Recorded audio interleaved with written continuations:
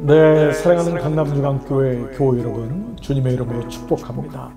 여러분, 오늘은 정말 1월 1일이네요. 이런 모두를 주님으로 축복하고, 어, 저희가 먼저 여러분께 새해 인사를 드립니다. 여러분, 새해도 하늘 복, 예수님의 복 많이 받으시기를 축복합니다.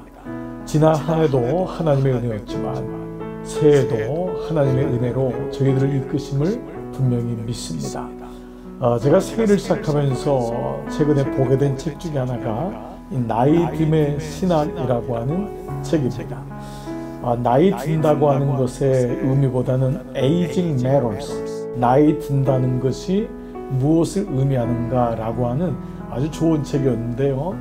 아, 이 당신의 소명을 재구성하라 라고 하는 소주제인데 폴 스티븐스라고 하는 풀러 신학교의 교수님이십니다. 벌써 올해 연세가 90이 가까우신 분이신데 이분이 78세에 자신의 인생을 돌아보면서 이 여정을 같이 그렸는데요. 세 가지 챕터로 얘기하는데 제가 참 이게 은혜가 돼서 여러분에게 새해를 시작하면서 나누고 싶습니다. 첫 번째 챕터가 소명. 어, 어느 나이도 소명을 받기 늦은 나이가 아니다.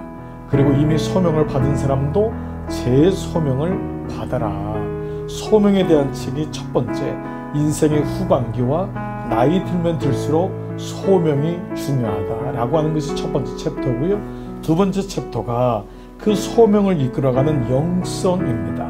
영적 여정회로의 초청인데 나이 듦에 따라서 영적으로 깊어지고 하나님을 알아간다는 것이 한 살 한 살. 오늘 이 영상으로 함께 축복을 받는 여러분 중에는 20대도 30대도 40대도 50대도 60대도 70대도 80대도 있을 것입니다.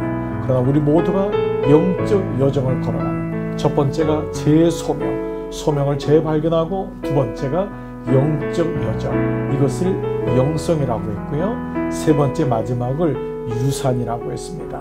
나는 어떤 영적인 유산을 남기는가? 이 땅에서 어떤 사명을 가지고 주님의 부르심을 받는 그날까지 승리할 수 있는가? 세 가지 챕터 소명, 영성, 유산이라고 하는 인생을 돌아보는 세 챕터로 되어 있더군요. 저는 이 책을 보면서 여러분에게 그런 마음을 전하고 싶습니다.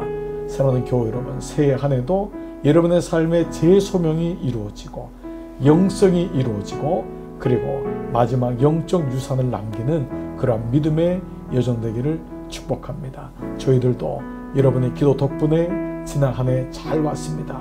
새해에도 더 힘내서 우리 목회실, 우리 목사님들과 전사님들과 함께 잘 섬기도록 하겠습니다. 여러분 새해 복 많이 받으십시오. 아멘. 자, 이 시간 제가 여러분 새해의 표어가 뭐죠? 네, 양육과 공동체만이 살 길이다.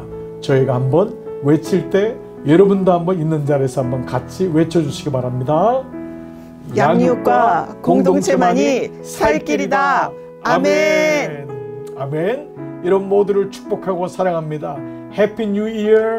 여러분 새해 복 많이 받으세요. 아멘.